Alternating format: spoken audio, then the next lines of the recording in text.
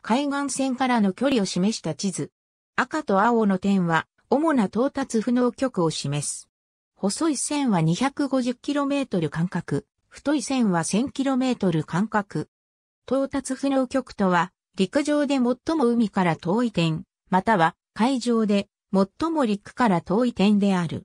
不能とあるが、あくまで地理的に定められた点であり、物理的には到達できるため、日本では到達困難局、または到達至難局と呼ぶべきだという意見もある。到達不能点、到達困難点、到達至難点とも言われる。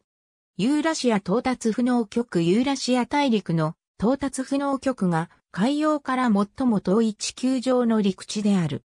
海まで 2645km ある北緯46度17分、統計86度40分、北緯46.283度統計86.667度、46.28386.667であるとされてきた。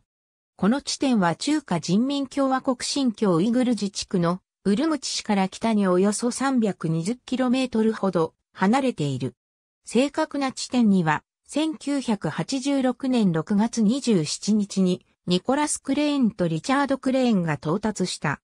しかし、オビワンが河川扱いで陸の一部として求められた地点であるため、地図の表示と同じく海洋に含めて計算し直した2007年の研究では誤差範囲内にある2地点が到達不能局であると示された。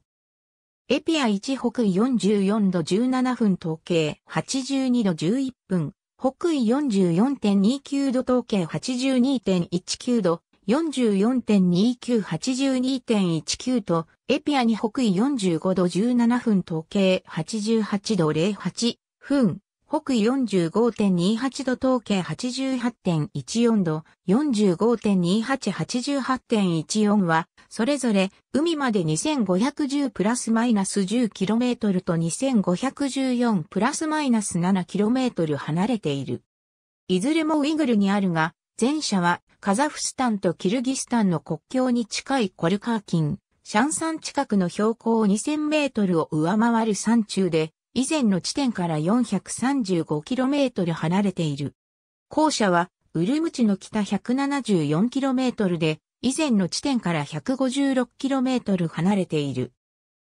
また、ウルムチの西南 30km の北緯43度40分52秒、時計87度19分52秒、北緯43.68111度。統計87.33111度、43.6811187.33111には1992年の中国科学院による。測量に基づいて。世界で最も海から遠いアジア大陸の地理的中心であるとして。アジア大陸地理中心と呼ばれる。アジア49カ国の旗と文化が描かれた像で囲まれた記念の塔が立つ広場は観光名所になっている。旧ソ連の到達不能極基地。チーム N2I も2007年に到達。様々な経営度が定義されている。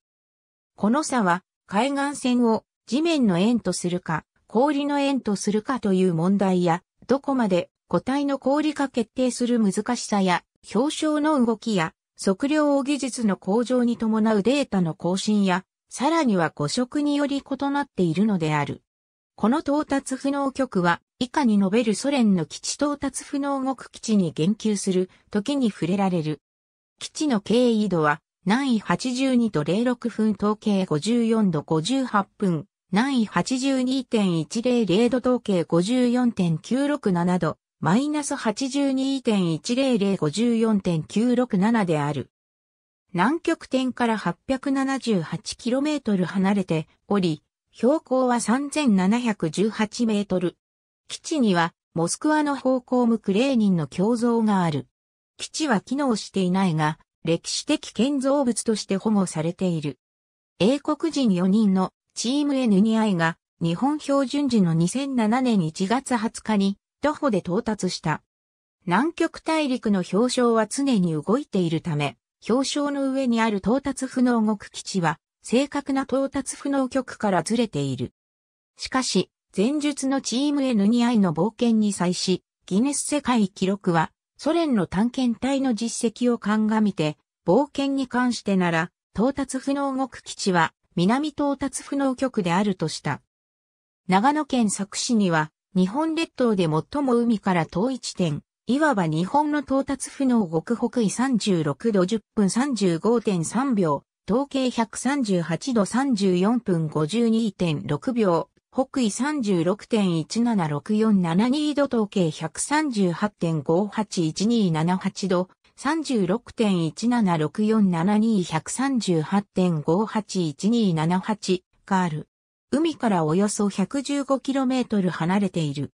北到達不能極は北極海で最も陸から遠い点で、エルズミア島とゼムリャ・フランツァヨシファから共に 1094km 離れている。北極点からは 661km 離れている。1927年、ヒューバート・ウィルキンスが飛行機で到達した。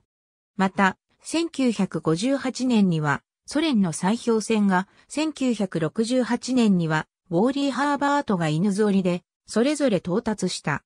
浮いた氷の上にあるため、高級的な目標ものはない。